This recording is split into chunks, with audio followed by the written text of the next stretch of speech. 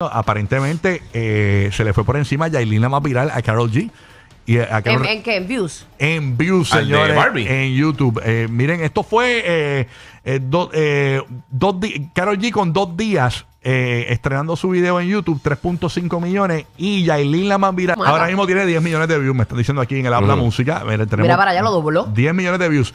Y tiene mucha hay mucho esperanza. talento bueno tiene, en RD, hay mucho talento tiene bueno. mucha esperanza en Yailin, como que va a ser una, una Karol G, Yo una veo, Cardi yo B. veo a Yailin como una Cardi B, este, Sí, sí, sí. estoy diciendo que eh, un arranque. Eh, yo creo que va a tener. Pero por la misma línea. E incluso ella, Ajá. en, Ok. en cuanto a los 20 años que tiene y la mentalidad que tiene ahora mismo en cuanto a lo del negocio, yo creo que está ya enfocando. Porque ya le preguntaron en la entrevista de los foques si colaboraría con Carol G. y Dijo, yo no tengo ningún tipo de problema. Vamos a hacerlo marketing. Yo no Ella tengo pero Karol G.